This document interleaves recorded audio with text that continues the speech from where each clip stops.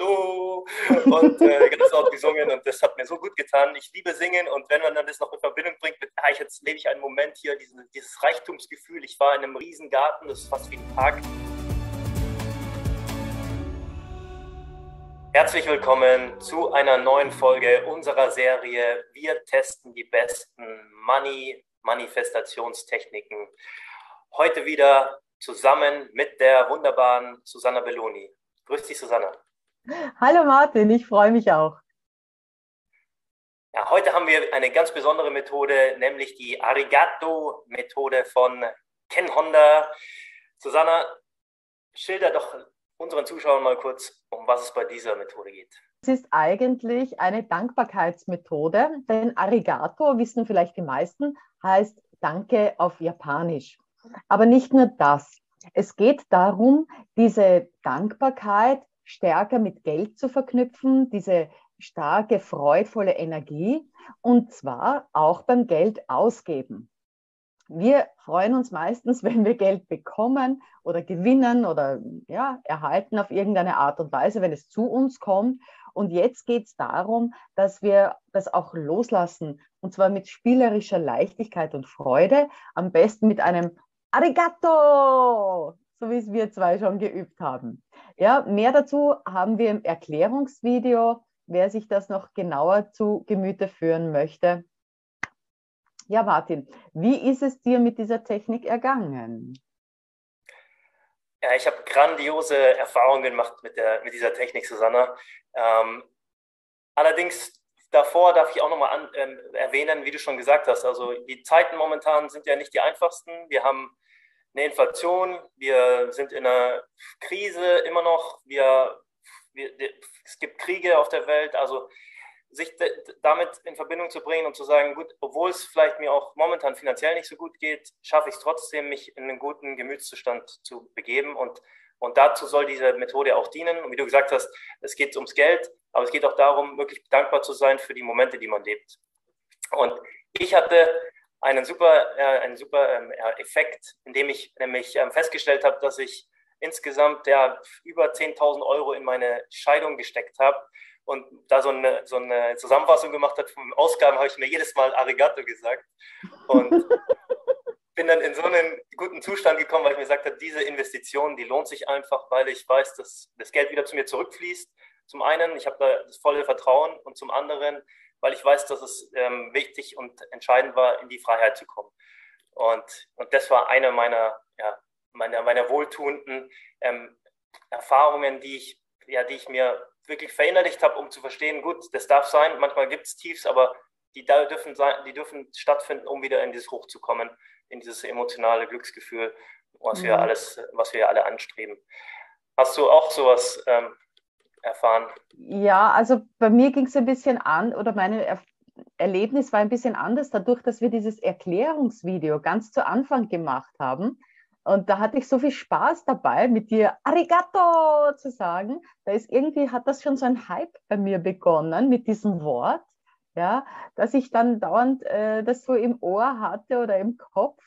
Und dann, dann ging das voll gut. Also ich fand das jetzt, das Miteinander das zu machen und so auch ein bisschen dieses Blödeln dabei haben, dieses äh, ja, lustige, spielerische, ähm, das, das war für mich der Schlüssel. Denn äh, einfach so wie ein, wie ein braver Japaner Danke, Danke sagen, das fand ich jetzt nicht so prickelnd. Also das hat mich nicht in diese Emotion gebracht. Und ich habe auch gemerkt, dass es bei mir sehr viel gelockert hat. Also ich, das war mir nicht bewusst, wie verspannt ich bei den Ausgaben war und streng und, und schon vorkalkuliert hat, was, was ist dann, was ist dann. Ich bin viel mehr ins Hier und Jetzt gekommen und in die Freude mit Geld. Also ich finde es top. Ich muss das unbedingt beibehalten und nicht aufhören damit, weil das ist jetzt absolut meine Lieblingstechnik. Vor allem, wenn man bedenkt, dass der Warhead Takaneda äh, auch sagt, und das ist so der Warren Buffett von Japan, also der Finanzmagnat, dass es eigentlich nur diese Technik braucht. Finde ich sensationell. Also ist schwer zu glauben. Ich weiß nicht, ob ich das glaube, aber ich möchte es behalten. Ich finde es genial. Ja, auf jeden Fall. Auf jeden Fall begibt man sich da in so einen super Zustand.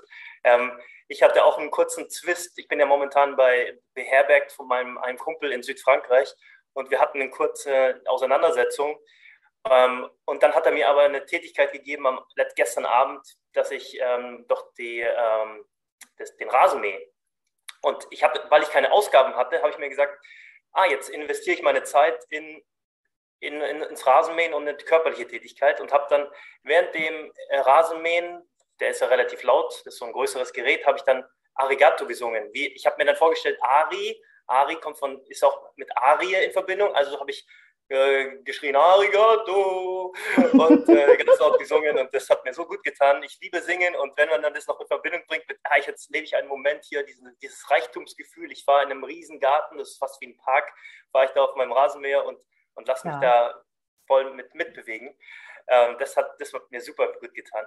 Und, und zum anderen noch ganz kurz, Arigato ist ja auch, ähm, wenn man das, den zweit, die zweite Silbe benutzt, nämlich Gato, dadurch, dass es unser, unser Universum ist ja allmächtig und auch mehrsprachig. Mhm. Äh, Gatto heißt auf äh, Französisch ähm, äh, oder ist Französisch für Kuchen und mhm. Spanisch für Katze. Und weil ich so oft Arigato gesagt habe oder auch gedacht habe, habe ich ähm, mittlerweile ist eine Katze jetzt immer, kommt jetzt immer zu mir. Die steht jetzt immer vor der Tür und miaut und will was von mir haben.